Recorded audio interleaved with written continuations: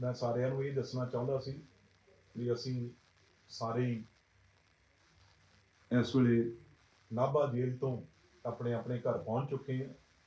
ਪਰ ਮੈਂ ਖਾਸ ਤੌਰ ਤੇ ਸਾਰੀ ਆਪਣੇ ਕਾਂਗਰਸ ਪਾਰਟੀ ਦੀ ਟੀਮ ਨੂੰ ਕੱਲੇ ਕੱਲੇ ਵਰਕਰ ਨੂੰ ਕੱਲੇ ਕੱਲੇ ਲੀਡਰ ਨੂੰ, ਮੈਂ ਆਪਣੇ ਵੱਲੋਂ, ਆਸ਼ੂ ਜੀ ਵੱਲੋਂ, ਸਾਡੇ ਜ਼ਿਲ੍ਹਾ ਪ੍ਰਧਾਨ ਸੰਜੇ ਤਲਵਾਰ ਜੀ ਵੱਲੋਂ ਡਾਵਰ ਸਾਹਿਬ ਵੱਲੋਂ ਪਾਂਡੇ ਜੀ ਵੱਲੋਂ ਸਾਡੇ ਮਲਹੋਤਰਾ ਸਾਹਿਬ ਜਿਹੜੇ ਸਾਡੇ ਨਾਲ ਗਏ ਆ, ਉਹਨਾਂ ਵੱਲੋਂ ਸੰਦੀਪ ਸੰਧੂ ਜੀ ਵੱਲੋਂ ਵੈਦ ਸਾਹਿਬ ਵੱਲੋਂ ਸਾਡੇ ਜੱਗਾ ਜੀ ਵੱਲੋਂ ਸਾਡੇ ਚੀਮਾ ਸਾਹਿਬ ਇਹ ਸਾਰੀ ਮਹਿਲਾ ਕਾਂਗਰਸ ਦੀ ਸਾਡੀ ਪ੍ਰਧਾਨ ਸਾਡੇ ਯੂਥ ਕਾਂਗਰਸ ਦੇ ਪ੍ਰਧਾਨ ਤੇ ਸਾਡੀ ਸਾਰੀ ਯੂਥ ਕਾਂਗਰਸ ਦੀ ਸੀਨੀਅਰ ਲੀਡਰਸ਼ਿਪ ਕਾਉਂਸਲਰ ਸਾਹਿਬਾਨ ਵਾਰਡ ਬਲਾਕ ਪ੍ਰਧਾਨ ਸਾਰਿਆਂ ਦੇ ਮੈਂ ਦਿਲ ਦੀਆਂ ਗਹਿਰਾਈਆਂ ਤੋਂ ਉਹਨਾਂ ਦਾ ਧੰਨਵਾਦ ਕਰਦਾ ਕਿਉਂਕਿ ਅਸੀਂ ਹਰੇਕ ਨੂੰ ਇਹ ਕਿਹਾ ਸੀ ਵੀ ਉਸ ਸ਼ਖਸ ਨੇ ਆਉਣਾ ਜਿਹਨੇ